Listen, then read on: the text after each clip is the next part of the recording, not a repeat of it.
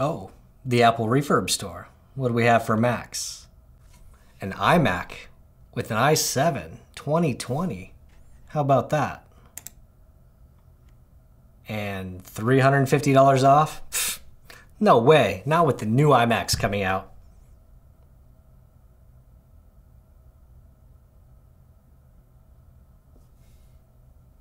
Hmm. Nah.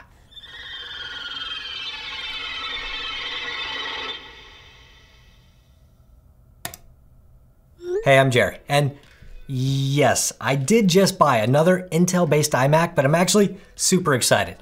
You might think I'm an idiot for buying an Intel iMac at this point in 2021, but I needed slash wanted one again, and despite all of the rumors of the impending 2021 iMac refresh, I think there are still some good reasons that you might want to pick one up as well. So let's just start with some of the rumors, why maybe you shouldn't pay attention to them just yet, and why an Intel-based iMac should still be considered.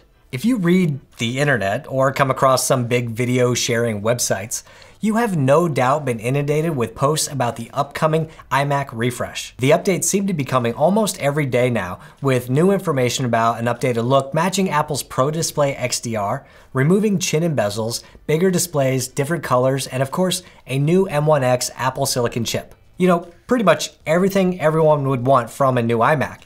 And it all sounds amazing, and most of it is probable.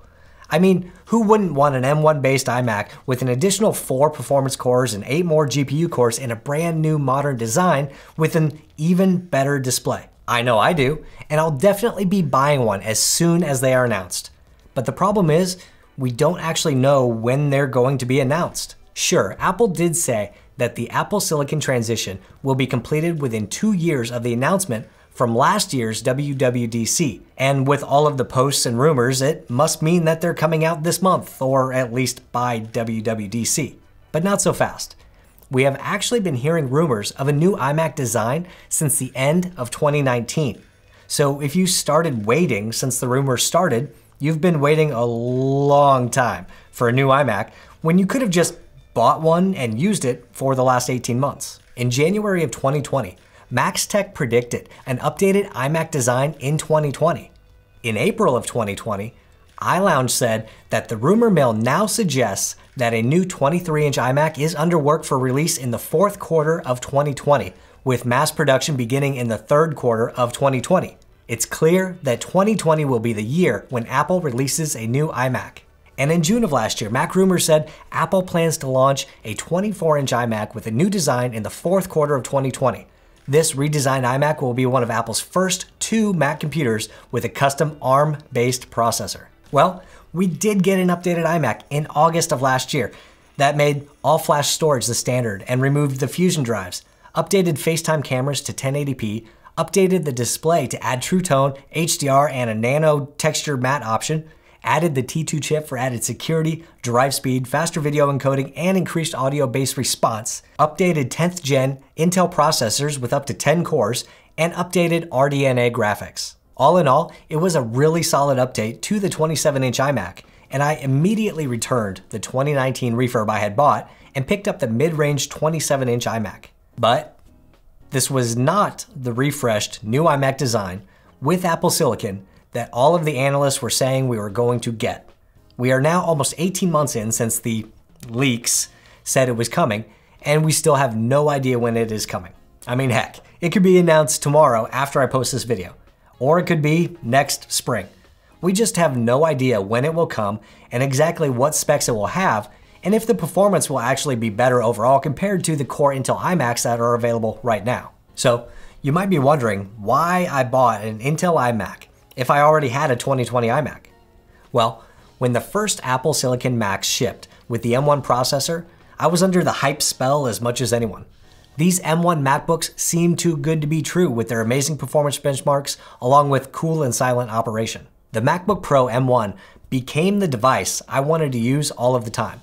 Although not as powerful as my mid-range iMac in most tests, it was powerful enough for what I was doing both in terms of work and my YouTube video editing. I like the idea of having a single computer to do everything at my desk and on the couch without needing to switch between devices. I put my iMac aside for a while to build out my MacBook Pro desktop setup, and after some time, decided to sell the iMac. Since selling my iMac, many things have become clear to me, and I've realized that using a MacBook as a desktop replacement is just no real match for a desktop. Funny enough, I made a video about this a few months ago and just completely disregarded my own advice. Using a MacBook as a desktop comes with challenges like finding an external display that isn't just hot garbage. Because seriously, I've spent probably 50 hours researching displays trying to find one that can match the iMac in its all around performance. If you want a high resolution display, 4K is pretty much what you can find on the market, but the native resolution makes everything too small, even on a 32 inch display. So you need to scale things down, which can have a performance impact. Many third party displays have hundreds of comments complaining about all sorts of issues like screen retention, bad pixels, backlight bleed, color accuracy, and even build quality. Even the Apple certified LG 5K display has consistency issues with backlights, retention, and colors, and not to mention the ugly plastic wobbly design. Even if you find a great display, there's a good chance that you will have display connection issues with a MacBook, like what I've detailed in previous videos, including inverted colors using HDMI or weird distortions when waking from sleep, which requires either a disconnect and reconnect to the cable or a reboot of the computer. Then there's just the simplicity of using an iMac on a desk versus a MacBook. It's such a clean setup with less clutter from things like docks and adapters, which are needed to extend the limited amount of ports on MacBooks, but which the iMac has built in on the back. With speakers, mics, camera, SD card reader, and display all built in, there's so much less stuff crowding your workspace. And if you do need to connect something like an external drive, all you really need is the drive and you don't need a bunch of additional cables or power adapters. Reducing adapters also reduces potential issues. For example, when I connect my MacBook Pro to a dock that has built-in Ethernet, frequently the MacBook will just keep using Wi-Fi as the active network adapter rather than switching to Ethernet. This is most noticeable for me when I'm on work video calls or copying files to or from my Synology NAS. I will notice a slow copy speed and look at which adapter my computer is using with the help of iStatistica. To fix it, I need to disconnect from my Wi-Fi connection even though I have the network settings set to prefer the Ethernet connection inside of System Preferences. When I undock, I need to remember to re-enable Wi-Fi, and it's not a huge deal, but it's something I have to do that I shouldn't need to. So really, the iMac is simply a better overall desktop experience. It has a cleaner setup, it's more reliable in my experience, and requires less finagling to actually make things work. And overall, I feel like I'm more productive and can work faster from an iMac with less to be concerned about. Now, if you're holding off because Apple Silicon is obviously the future of the Mac, there are still some things to keep in mind that make an Intel iMac worth considering. First is app compatibility. Every Mac program is still written and optimized for Intel. Many apps have been updated to support Apple Silicon, and some apps may actually run just as fast or maybe slightly better on Apple Silicon, depending on, you know, the app. But there aren't many apps that have been created only for Apple Silicon, save for some iOS apps that can now run on the M1 Macs. This means that you will not have any issues running current or updated apps on the Intel iMacs. There is no Rosetta translation process, no bugs from being newly optimized in a universal format to run on new hardware all of your apps will just work without question.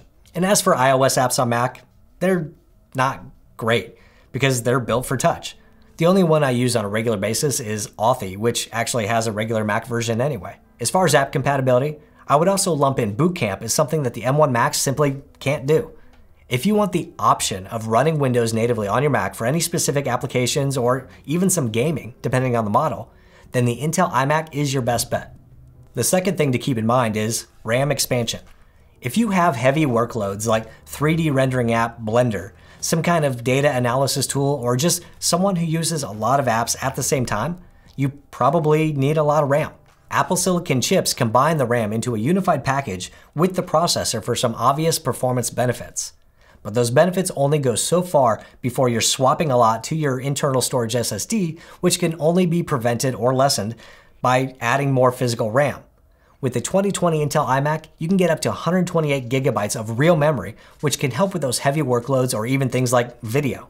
Even in this video export test, I was able to complete the export 15% faster by adding additional RAM to the existing 8 gigabytes of memory that came with the iMac.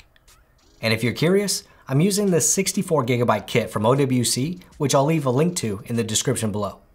The third thing to keep in mind is that even if you buy an Intel iMac now and decide to sell it later for an Apple Silicon iMac, you may not actually lose that much money. If we look at the site Swappa, you can see some 2020 MacBook Airs with an i3 just sold between $785 and $845.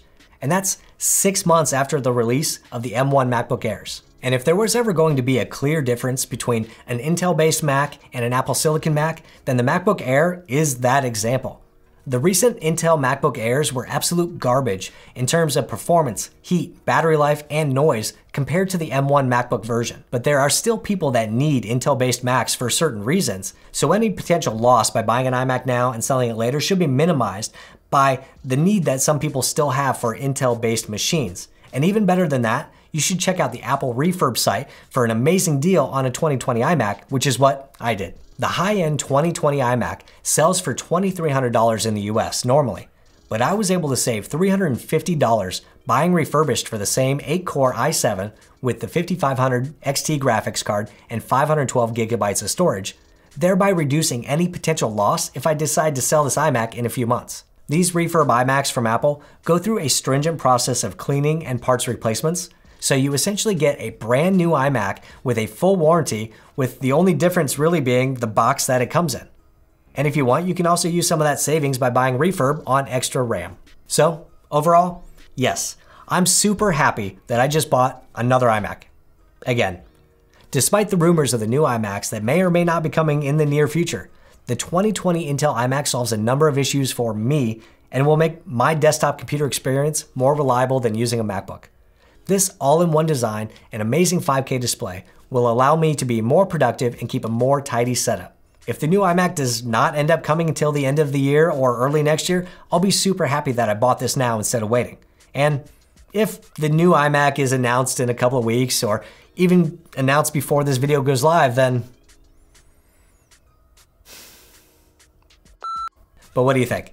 Are you expecting new iMacs before summer, or are you looking at getting an Intel iMac now? Let me know why below. If you're looking for another comparison between using an iMac and using a MacBook as a desktop, I got the video for you right over here. Hit the thumbs up button if you liked it, hit subscribe if you want, and I'll see you next time.